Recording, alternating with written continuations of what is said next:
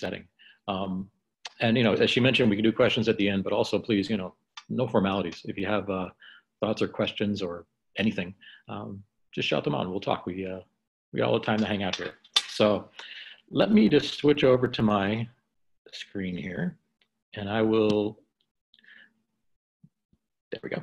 Um, I'll just show you a couple things here, and you know, again, we can stop and talk throughout these. Um, and let me just give you a couple things to start off with. Um, you know, my background is in community organizing and, and community development and uh, getting local citizens involved in all the things that impact them. And one of the things I'm always doing is looking to see who's missing from the table. And historically, you know, youth often get excluded from that. And uh, so that's part of the work I do with, with UNESCO. It's, it's ensuring youth involvement uh, and youth engagement and things like that. And it's, it's not a, a token kind of thing. And let me just give you a couple examples of why. Um, you know, a lot of people often ask me, like, why you focus on youth of all the things? And um, there's a lot of reasons. And just here's some of them. Um, if you talk to any of the demographers or any of the international development people, uh, they'll tell you about the youth bulge, but it's one of the biggest demographic shifts we've ever seen. Uh, so now we've got about half the planet, more than half the planet now, uh, under 25 years old. And historically, this group has been the, the biggest agents of change historically. If you look at any of our major social movements, any of our efforts for change and equality and everything else, they've always been at the forefront. So it's a really, really important group. Um, and on top of that, there's a, there's a third of the world that's under 15. Um, so we're talking massive, massive numbers of people here. And a lot of times we have these different little shifts in populations throughout the world. This one by no means is that kind of thing. This is a long-term uh, trend that's going on. Um, it's not just a, a, demographic blip or anything like that. So to give you a feel, um, and usually, by the way, when we talk about youth, um, the definitions kind of vary depending on who you're talking to, but it's usually people that are 15 to 25 years old. And um, we're going to talk here and hang out today for like an hour. So at the end of it, there's going to be 12,000 more of them. Okay, just to give you a feel for this. Um, now, I won't ask everyone to, you know, to put a thumbs up or whatever to say if you're over 25, but if you are, there'll be 6,000 less of us at the end of the hour. So think about it this way. That's a, that's a net increase of 6,000 youth every single hour. And that's a really, it's an amazing population to tap into. Um, to put it in a, a better way, just to give you some visuals of it, um, this is, these are some maps of the world and the average age of the population. Um, so you can see Europe, overall pretty, pretty much an older continent. Um, if you look at North America, um, pretty much an older one again. As we start getting into places like South America and the Caribbean, starts getting a little younger. So, and here's the Caribbean again. Um, and as you keep seeing with these, a lot of the youth population is, is resides in the developing world. At the same time, though, we've got massive, massive, massive numbers um, in those places where I showed you, that, showed you that were just older populations. You get into Asia, really young. Um, the exception of China and, and Australia, a young region. The Middle East, I'm always fascinated by this one. Um, very, very young population. And uh, you know, I, I, had a former grad student from Saudi Arabia, and I was I was shocked when I saw this, and I said, you know, what's the what's the deal here? And uh, he came back with the, with the statement that you know, you're in our culture, I mean, your your worth is placed on what you leave behind, uh, how many children you have, what size of a family, that kind of thing. And we see that in other parts of the world too. Um, you know, sometimes it's driven. Large families are driven by, you know, poverty and other things. Uh, other places they're driven by um, these cultural aspects of things. So you got these kind of things. Now, here's the one I think is, is really cool. Um, you know, this is what Africa looks like. So anything that's green there is incredibly young. It's an entire continent of young people. Some of this is cultural, some of it's brought on by um, previous generations being lost to, uh, you know, war, conflict, uh, disease, other things. So it's a whole mix of things, but it's, it's an entirely young population, which is really just an amazing group to, to capture and to be part of things. And as we talk about sustainability and all this other things, um, they're the group to target. They're the group to engage with. And let me just give you a couple other things here. Um, this idea of engaging youth is really critical, I think, to, to all aspects of social change and, and advancing the human condition. Um, but I think it's really important in a lot of other ways. If you go back hundreds of years, thousands of years probably, one of the key things we've seen is that it's always been young people that have been pushing the human condition forward, the human race forward. Uh, it's always been that way. They've been the ones who were at the forefronts of civil rights, of gender rights, of anti-war, of other things, and um, and I think that's a pretty cool thing. And I think uh, this idea, the statement of the 1960s of "don't trust anybody over 30," um, eh, maybe we can trust people. But I think you know, I think once people get to a certain point in their lives, there's other priorities. Um, you know, we got mortgages and, and homes and loans and all kinds of other things to look after, and uh, maybe we lose sight of things. But it's the young people that are on the ground all the time that realize these these critical things. And uh, so I think it's a really, a really cool thing here. And I remember I was, it's funny, one of my, I always tell the story that one of my earliest memories was uh, um, uh, my mother took me to a protest march when I was a kid. I was probably three years old or so. And I just remember thinking like, oh, look at all these people. This is how change happens. This is what makes it go on.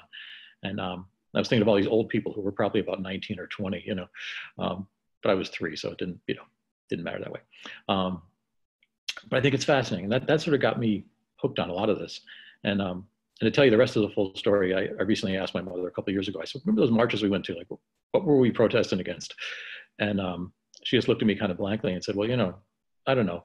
I was looking after you. You were a handful. You were hyperactive. I had to do something with you. So we went out. So like this whole idea that I thought I was based in social justice was probably just you know a young mother trying to take care of a rambunctious child. But either way, it was good. Um, now the good news is that this continues, and as we look through the news and all sorts of other settings as you, as you keep an eye on things. Uh, those people from the 1960s and 70s and 80s there have been, been replaced by an entire new cohort. And they're doing the exact same thing. And again, they're, they're moving it forward. Now, a lot of these pictures here are from all over the world. Um, truth be told, I had kind of thought maybe we'd become a little complacent um, in the United States, at least, uh, in terms of youth activism. And uh, it's actually not the case at all. And this is, if you, uh, if you don't recognize this big photo here, this is the um, March for Our Lives march in Washington two years ago, um, a little over two years ago. And uh, think back to all the things you've seen in history courses and everything else, these massive, massive marches on Washington, D.C. to facilitate change. This right here, this picture, was the single biggest march ever in Washington. And the average age of the population was 17. That's cool. That's exactly what we should be doing. And that's, that's what youth have always done. That's what they're still doing. Um, and one thing I would I'd, I'd push back on a little bit too with that is um, sometimes as we're dealing with policymakers and others, um, youth are viewed as as being vulnerable, or we have to talk about what happens if we don't engage them. And we know if we don't engage anybody, the outcomes are going to be really negative. So you're going to have things like violence. You're going to have things like um, extreme poverty, all sorts of other stuff. But the one thing I really want to stress is is through all of our research and all the work we do with with the UN and others, um, youth aren't vulnerable. This, this, if you take everyone, and we, and we actually did this for the UN once, if you take all the estimates of everyone who signed up for ISIS and Al Qaeda and gangs and all sorts of other things, it's a numbers game here. Uh, again, there's 3.7 billion youth. Um, even if 10 million of them were engaged in the most wild, extreme activities, you're still talking a hundredth of 1%. Uh, the vast majority are doing what they've always done. They're seeking social change. They're going to school. They're working. They're looking after families. Um, all these sort of things. So this idea that, that youth aren't capable of this, it's something we really got to kind of keep pushing on. Um, they're not vulnerable, and uh, they're agents of change as they've always been. So with that in mind, um, one of the things I want to mention here is, uh, you know, within the UN system and within governments and other settings, uh, a lot of times people have asked for a youth voice in program and policy. And through my experience, it's been two things have happened with that. One, quite honestly, I think some people just say that and they don't really want a youth voice. Um, or more often, I think they, they, they have a situation like this and they don't know how to get a youth voice within it. Uh, it's too messy, it's too complicated, or the structures and the ways they did it in the past just doesn't work. Um, you know, no offense to anyone who's in high school, but you take a high school student and put them on a panel with an ambassador and a president and all this sort of stuff, you know, I'm intimidated beyond belief. I can't imagine what those settings would do to somebody who hasn't had the exposure to that. So think about it. So one of the things we've done is um, we created this Youth as Researchers program. And this was done in, in, in collaboration with our partners there that I just mentioned. Um, you can see there from National University of Ireland, Galway, from University of Ulster, but also um, some groups in the UK and the US. And one of the things we did was a lot of our work, we would see that youth were often dismissed that their their voices weren't seen as, you know, you don't know what the real world's like. You don't know what it's like to be out there. All this kind of stuff. And the fact of the matter is, they are, and they do. They know all those things. Uh, one of the things we found is that it's really, really hard to ignore people if they come to the table with some data. And policymakers really responded to that. So what we did is we came up with this program. And uh, for those of you that have been through grad school, we took one of those mind-numbing, boring graduate research methods courses. Um, and what we did is we sat down with young people and had them put it into understandable language. Um, and occasionally I teach a, a, stats and methods course. Um, and I found now that the students are going to this curriculum more than a textbook I'll give them. Um, it's much more understandable, much more useful, and that sort of thing. But what it is, is it's a brief, really rigorous training in research, um, best practices. We provide advice and things like that, but we don't tell them what to study or how to study it. Um, and what we've been finding is that it results in better data, um, a deeper insight. And think about this, because people, a lot of youth and young people are on the ground. And for me to sit in my office and proclaim, I think I know what I'm talking about, it's not nearly as valid and accurate as the people that are seeing it every day in their face on the ground. Um, they get much better data. They also get access to populations I can't. I'm getting too old. People won't talk to me anymore because I'm, I'm too old or whatever else, uh, especially if we're looking into you know, questionable things like drugs and everything else. No one's going to tell me anything, but they'll tell their friends. And that's valid, useful data. And um, they're coming up with all kinds of innovative ways to do research. Um, and it bridges this idea of um, youth and community action. As I showed you before, all those pictures of young people from all these, these great times in history of changing things, um, that was action. And what this, by doing the research here, they, they can actually move into action. They don't have to wait for policymakers or other adults or others to tell them what to do. They can take on ownership of this right away. And, uh, and the last thing I would mention here is that uh, uh, their voices can't be ignored. Uh, the nice thing about this, and I'll show you in a second here, but the, the way we set up the program is they do their research. Um, and at the end of it, instead of writing journal articles that quite honestly nobody ever reads, um, they produce YouTube videos, they produce infographics, uh, they do things like that to get the information and the story out there. If policymakers don't want to listen to it, they can go around them.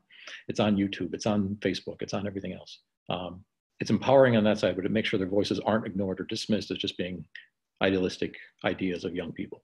Uh, they're valid, they're accurate, they're, they're dead on. So that's kind of the program. And, and, and by the way, all this programming here, this Youth as Researchers program, it's on our, our, uh, our website. It's all free. Uh, none of these things that I'll mention that there's a cost with them. We just do it as part of the, uh, the toolkit out there that people can use. And, uh, and we help people use them. So one more quick thing here. Um, not only is this, this program, this Youth as Researchers, actually come out with um, better data and empowering youth, um, we've actually got a bunch of other research we've done around it to make sure it's actually working in ways that maybe are beyond what we even thought. Uh, so we've seen increases in empathy, civic engagement, self-efficacy, um, critical thinking has been a major one. Uh, again, this idea that I can do, I can tell someone's story, I can collect data um, and tell their story, and then I can move that into action. Really cool thing. Um, and uh, a big thing I think is important too. You know, I mean, just think now, even in the, the whole COVID crisis, uh, we're all kind of scratching our heads at times to think of what can we do? What can I, you know, what can I do to change the world or help people? And you don't even know where to begin. Uh, one of the things that we've seen with this is that people come out of, by doing this kind of work, uh, any sense of cynicism by youth dissipates. Uh, it's really nice. They come out of it believing and knowing that they can change the world and they can change discourse and dialogue and everything, um, which is really cool, and they can. So with that, what I thought I would do is just show you two, two examples. Um, and these don't deal with sustainability terribly, but th this idea, I'll talk about some examples that do in a minute. Um, but I guess before the, I, I, show these, any, any thoughts, questions, anything you want to bring up? I saw a few of the, the question things pop up. No? Okay, you can save the good stuff to last. Okay. Um, so one of the things, one of the, like I said, we developed this in, in partnership with our group in Ireland, our UNESCO group there. And uh, one of the things we, as, as, European Union planning and all sorts of other things were going on, uh, a lot of people hear Ireland and they think harps and leprechauns and Guinness and, you know, all sorts of stuff. And um, what people forget is that, is that Ireland joined the European Union in 1973 and they were, they were categorized as a third world country then. And um, you know, they've grown, they've had busts and booms and everything else, but no one really thinks of things, especially things like homelessness and stuff like this. Um, again, youth are right on the ground and they're, they're paying attention to things like mental health, like poverty, like other things that may be hidden in other stuff. So this is a quick one they did. Um, uh, one of the results of their of their research. We've got about 30 or 40 of these, and they're on our webpage, and you can look at any of them. Uh, they're all there. Um, and uh, you can see how this goes. And if, if, any of you know the Irish actor uh, Cillian Murphy from Peaky Blinders and Batman and those movies, um, uh, he's actually a patron of the center there. And he does all the voiceovers for this and works with youth to, to, to do the research and other things. So let me show you one of the videos.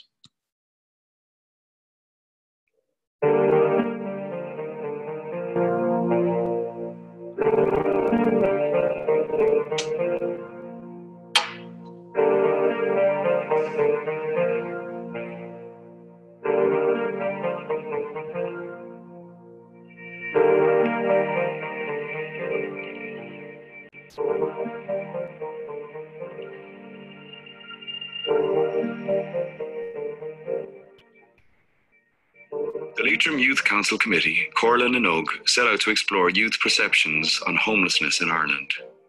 This topic was chosen by the committee in 2015 after the members consulted with their peers in the local youth cafe, youth clubs, and student councils. They found that this was an issue that young people were discussing and curious about. During this consultation, young people stated that they were never asked their opinions on the serious issue of homelessness and what image they have of homeless people. As one young Comhairle na nÓg committee member stated, they would like to identify if the young people of Ireland today have a real understanding of homelessness. Students in first year and transition year in every secondary school in County Leitrim were surveyed. In total, 306 questionnaires were completed. Here are the research findings.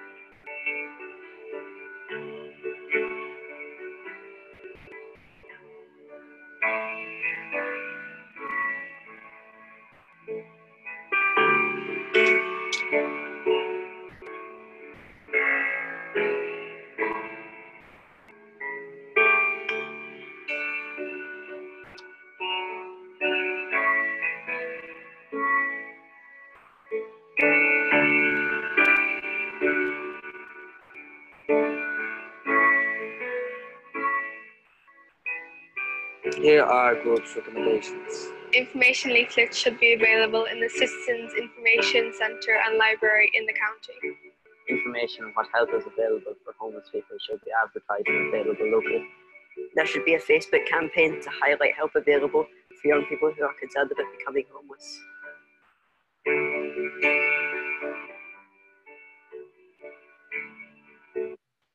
Okay, I'll move on from there. I just noticed my, uh, as I was doing this here, um, I have this list of all the people who are on board right now, little screen things. Can you see that on, on my end for my screen sharing? I want to make sure I'm not blocking No. half of the screen. Okay. I had this thing that I probably was cop- cutting out half the videos there. Um, so that was just one example. I, I want to give you another one in um, uh, from Pennsylvania that we did in North Philadelphia, and uh, this one here. Uh, there's a couple things with it just to give you a feel. This is this is in the what they call the Temple North Philly Temple corridor. It's uh, uh, the area around Temple University, but but North Philadelphia. There, it's one of the um, most socioeconomically deprived areas in the country. Uh, if you look at any of the demographics, it's everything from incredibly high levels of poverty, violence, HIV rates. I mean, it's it's uh, it's one of the toughest places in the country. And uh, um, we did the program here with youth, and they were actually quite younger, but they were much older in terms of their lived experience. And uh, they they of all the issues they looked at, you know, and again, sitting in my office, I figured, ah, they probably want to look at poverty. They probably want to look at this, that, and the other. Um, they came back and said, we want to look at, at basically racial profiling and community violence, um, community and police violence against each other. And uh, let me show you what they did. And um, uh, as you're doing this, pay attention. There's, there's one fellow in here. He has a red uh, checkered shirt. I'll tell you about him at the end. So.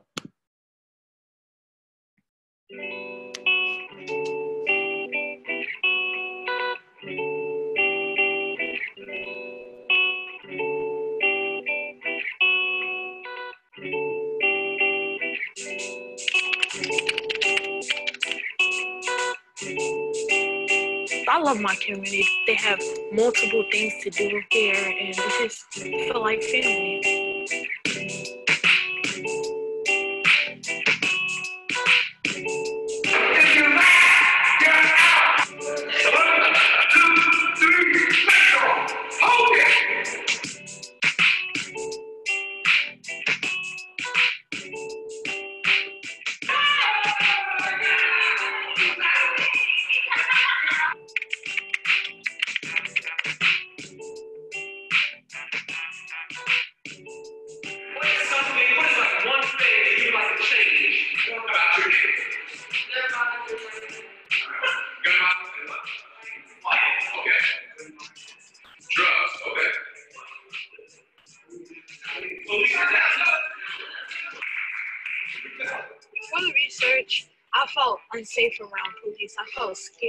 They might do something to me. At first, I felt misunderstood about them. I felt like they didn't have no heart for people.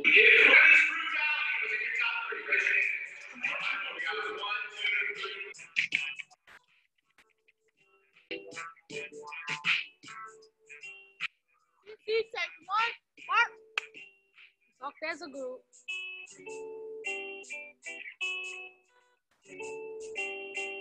Chose our research topic.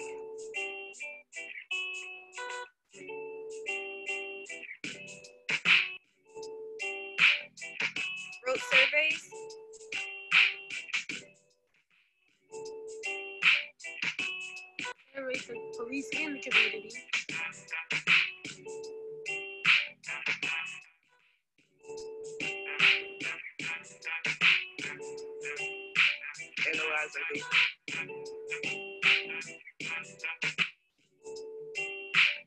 Now we are presenting our data to you.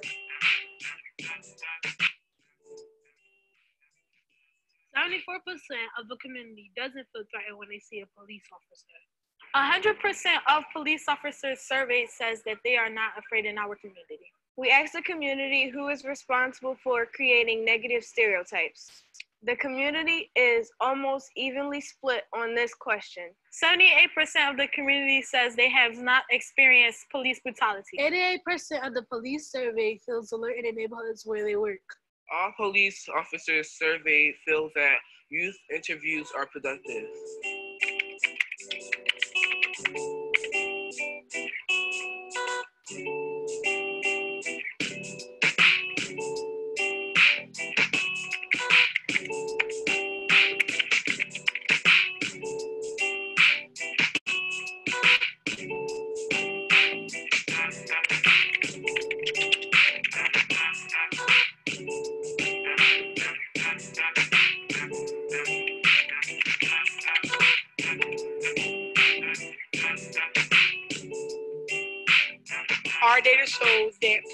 Police are not afraid of the community. Our data also shows that our community is not afraid of the police. The next step is to keep this conversation going. And we can do this by letting the youth in our community and the police communicate more often. Don't research about us Without us. Don't research about us Without us. Without us.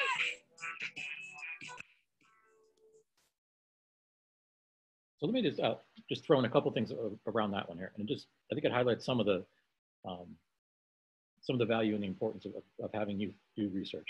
Um, and all you know, many of the folks I work with and myself, you know, we do research all the time, and we still make all kinds of mistakes. We all we- we miss all sorts of things. There's all sorts of limitations. But one of the really cool things with this, and again, we don't we don't tell youth what to study. We never ever ever will tell them to study something or not study something. So you know, when they picked basically racial profiling. I thought, okay, it's going to be messy. This, you know, Philadelphia Inquirer, we call them Penn State, but it's okay. This is what they want. And um, as they started crafting this, we gave them minimal. If they asked for advice, we gave it to them.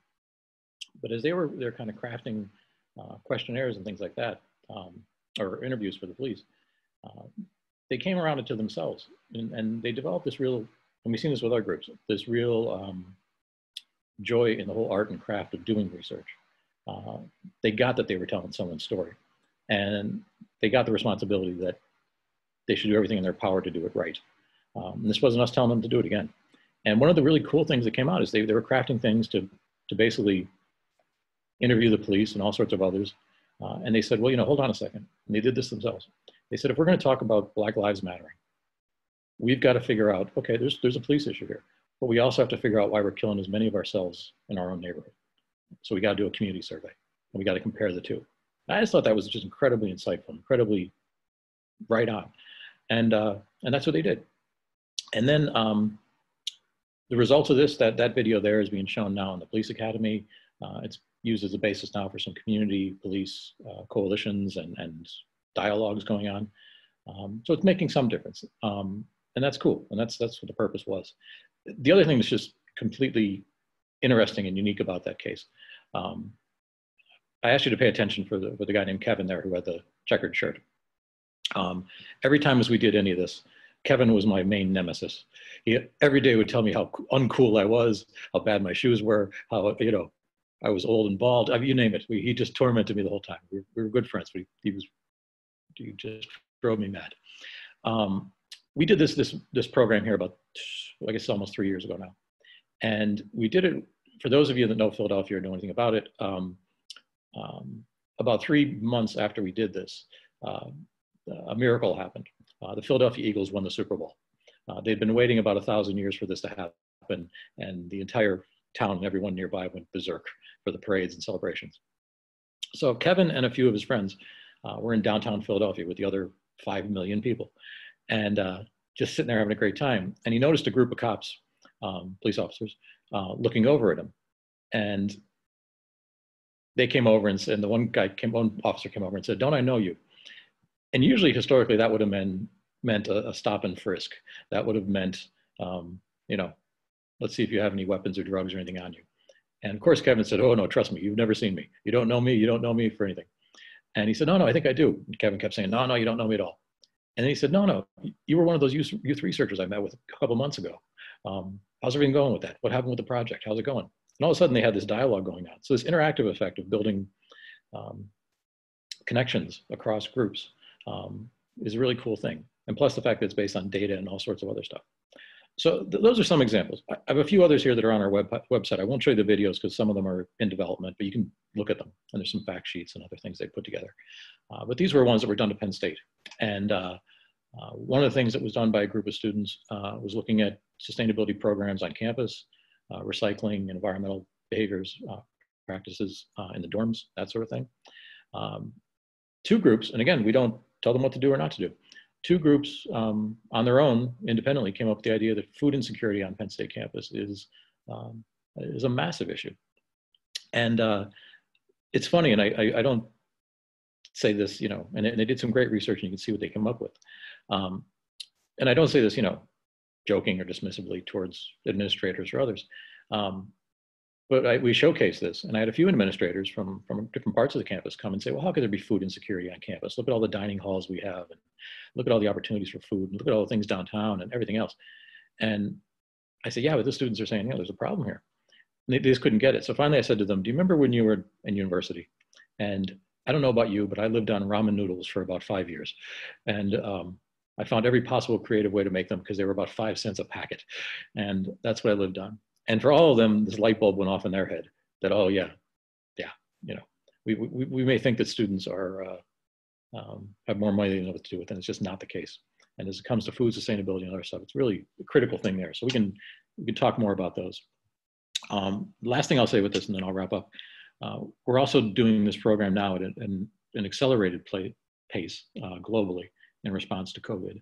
So we're doing it with UNESCO in um, uh, Australia, South Africa, US, uh, um, Western Europe, uh, Thailand, Myanmar, a few other places. And the focus is on, on how COVID has uniquely impacted different you know, people's lives in different contexts. Uh, but one of the things we're also looking at it for, and it seems a few of the groups are coming forward now, uh, with the idea of how can we um, adapt sustainably. We've got the situation now where everyone's economy is blown to pieces. And in the past, it may have been much more difficult to, uh, um, you know, to think about retooling industry and all sorts of other stuff because it'd be so disruptive. Well, everything is completely disruptive beyond belief. And that was an opportunity to really um, change the dial. I mean, we've seen all the pictures of how, uh, with none of us going outside, how pollution is disappearing, how we can actually see stars again, and we can actually see buildings again in certain places. Um, youth are picking up on that like you wouldn't believe, and they see this as an opportunity now. So they're going to be doing some research there. Um, let me just give you a couple things to wrap up here with. Um, one of the things I, I, would like to mention is, um, you know, by, by using this information, by using the data that youth come up with, uh, how they can act and why they should act, but also also adults should act uh, and help with this.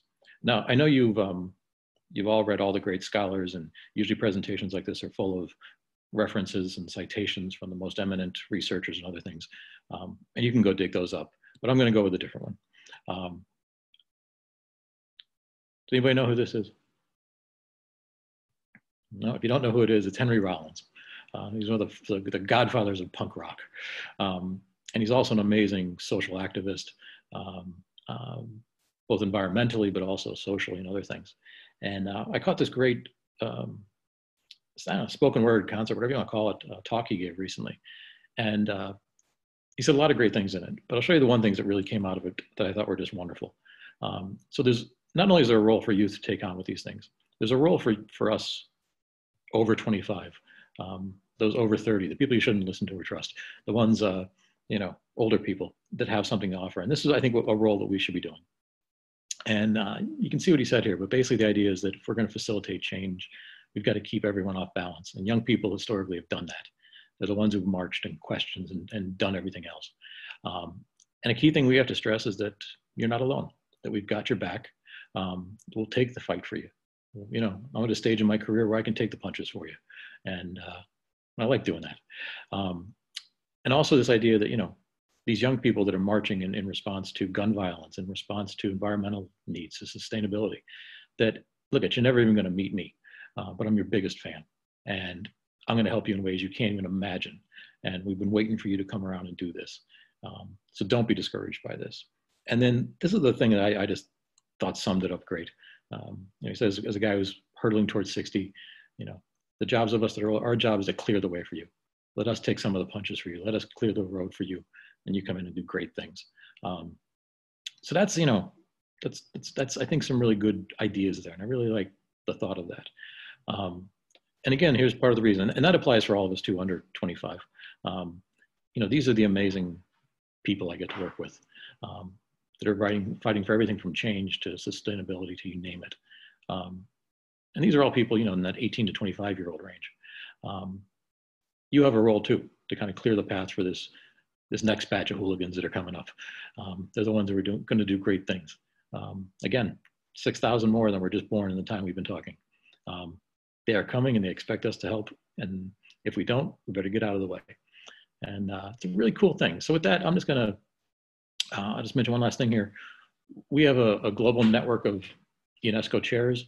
uh, which um, basically on almost every continent, you know, hundreds of faculty and universities that we've pulled together all in this realm of things. And one of the reasons we set this up is that we could be a fast reaction group um, for issues affecting youth and communities and other things.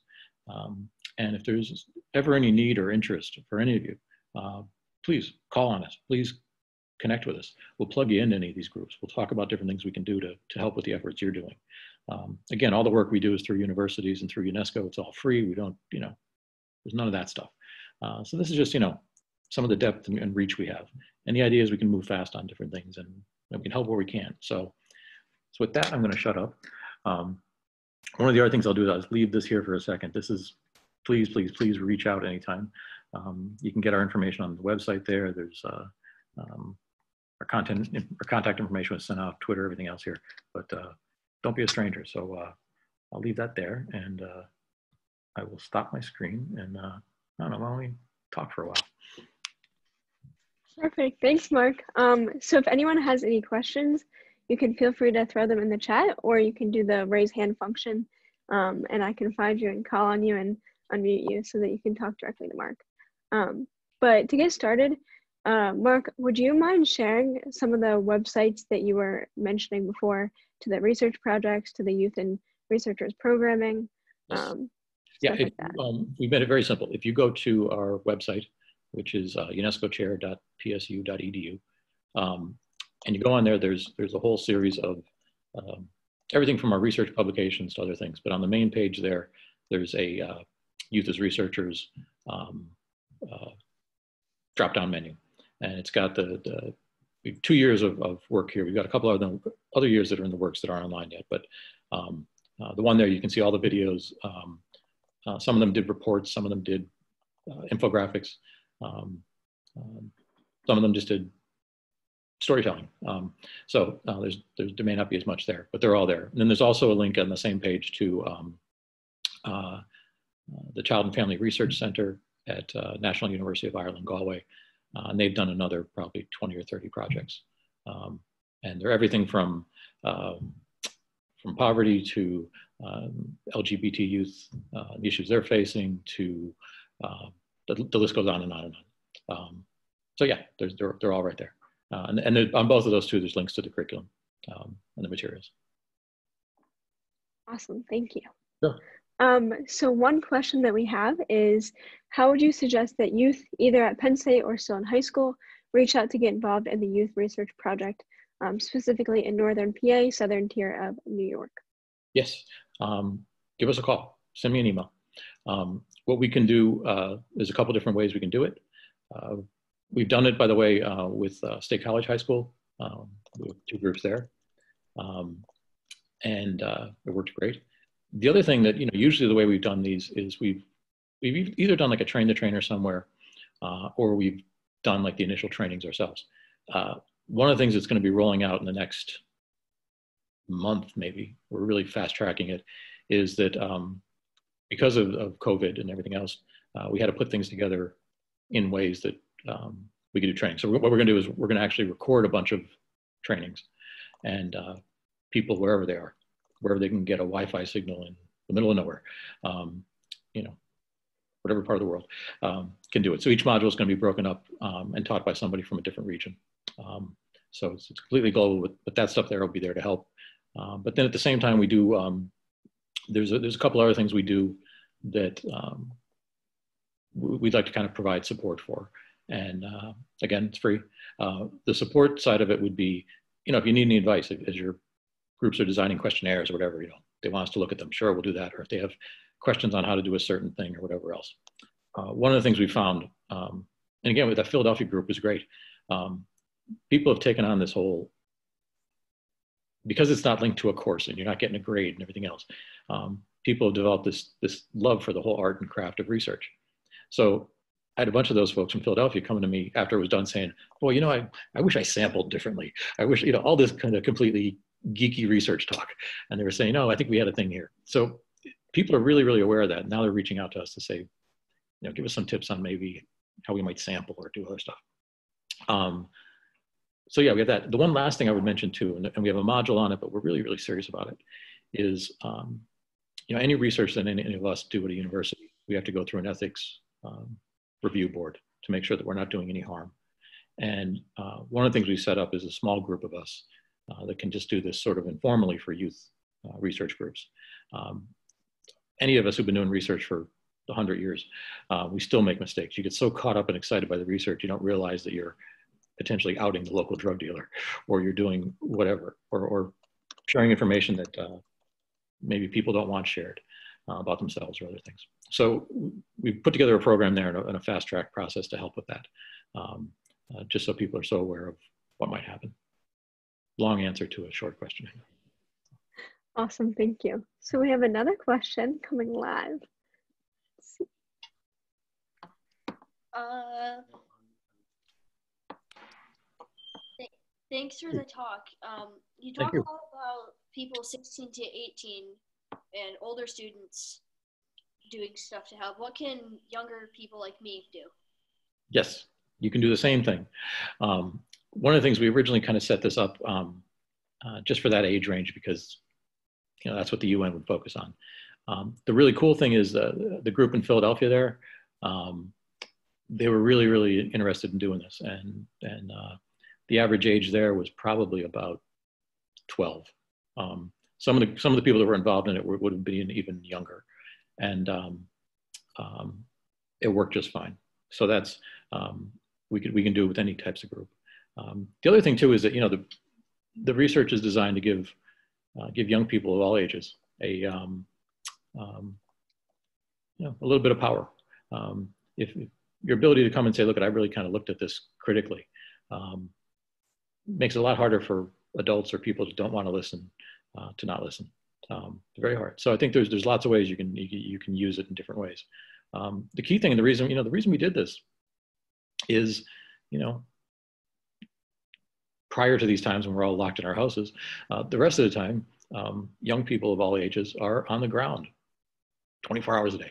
They're out there in their communities. They're out there with their friends. They're out there experiencing the world. They know a lot more of what's happening than those of us that sit in our offices or our cars or other things. Um, so your ability just to provide insight into what's going on, who's who's being impacted, even take take this virus going around now. Um, you know, your ability to be talking with your friends and others uh, and say, look, I've got a lot of friends who, you know, they have old family members who feel isolated. They have, you know, people that can't get medicine or food or whatever else. Your ability to start keeping track of that and conveying that to to anybody that will listen, and whether that's through, you know, telling family and friends and local officials or putting it on Facebook or putting it on Twitter or emailing it to anybody that will listen um, is just tremendously powerful. So I think, you know, the same kind of thing can be done there. There's no, no shortage of opportunities for good actions, especially in this environment. Awesome. Thanks, Mark. Um, another question that we have is, how did you become UNESCO chair? Well, that's a long story. How much time you got? Um, we got all day. Actually, um, the way it happened is uh, um, long story short, um, I, like I said before, my background has really been community organizing, community development. And uh, when I finally decided to go back to school and get my, my PhD and stay in academia, um, I did a big research project that looked at community development um, in, uh, in Pennsylvania, in a bunch of communities in Pennsylvania, and a bunch of communities in Ireland. Um, Ireland had a really unique history of community-based action um, around a lot of things. So I did this big study there, and I ended up working with a lot of people in Ireland. And uh, one of them is, um, you know, very, very good friend. And when you go to the, the website for the National University of Ireland there, um, a guy named Pat Dolan. And uh, he was a social worker for most of his life and then went back to school and uh, now runs this Child and Family Research Center. So the, the two of us really hit it off great and we, we did a lot of work, continued to do a lot of work over the years. You know, research, writing articles, talking to anybody that would listen to us. Um, and uh, that got on the radar of, of UNESCO because we were dealing a lot with youth. We were dealing a lot with youth in international areas. Um, and uh, that became an interest with there. So eventually they approached Pat to, uh, to be the first UNESCO chair in uh, the Republic of Ireland. And uh, um, so we continued doing more and more work uh, around UNESCO. And uh, they approached Penn State um, about eight years, seven years ago now, and said, would you be interested? And then we went through a whole process of applying and um, that's how it happened. It was uh, there certainly wasn't a plan for it. It just kind of came about, but it's been great because it really allows us to, you know, part of the reason there's this chair program. There's they've been in place for 25 years now or so, and the idea was um, that you know international agencies, UNESCO, UNICEF, uh, the UN itself, uh, they wanted to be in touch with groups that were doing places like Penn State, for example, that has extension and outreach to a really high level. Uh, that they wanted to work with places that were doing you know really cutting edge research and then getting it used on the ground, and um, that's kind of what we do. So it's nice to be able to do research or develop programs and have them used within a couple months, you know, in Africa or Asia or other side of the planet. So it's that's what we do. That's awesome. Thank you. Does anyone else have any other questions?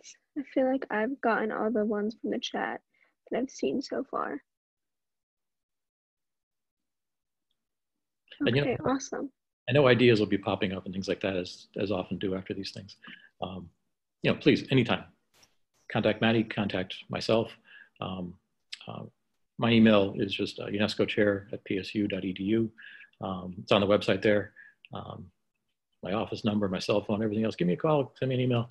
Um, you can talk through any of this stuff. Or if anything sounds interesting, um, you know, the other thing, we do, we do a lot of work, um, again, in lots of areas. And, and, again, it's, it's designed to be used everywhere and free.